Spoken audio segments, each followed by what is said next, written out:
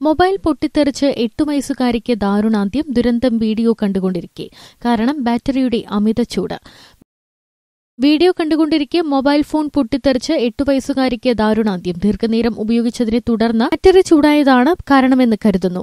തിരുവല്ലോമല പട്ടിപ്പറമ്പ് മാരിയമ്മൻ കോവിലിന് സമീപം കുന്നത്തുവീട്ടിൽ മുൻ ബ്ലോക്ക് പഞ്ചായത്ത് അംഗം അശോക് കുമാറിന്റെയും തിരുവല്ലോമല സർവീസ് സഹകരണ ബാങ്ക് ഡയറക്ടർ സൗമ്യയുടെയും ഏകമകൾ ആദിത്യശ്രീയാണ് മരിച്ചത്. Thiruvallomala Punarjani Christ new life സ്കൂളിൽ മൂന്നാം ക്ലാസ് വിദ്യാർത്ഥിനിയാണ്.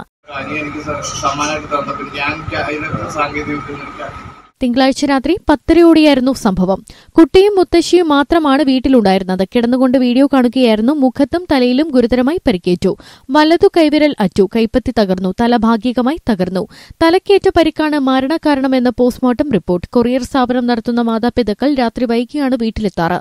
മുത്തശ്ശി ഭക്ഷണമെടുക്കാൻ അടുക്കളയിലേക്ക് പോയ സമയത്തായിരുന്നു അപകടം.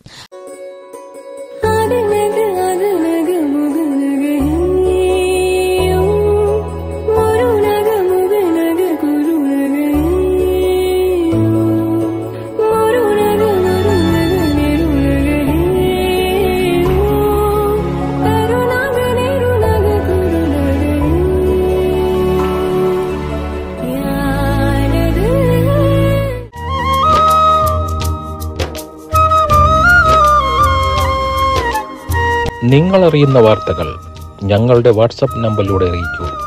ഞങ്ങളത് കൂടുതൽ പേരിലെത്തിക്കാം.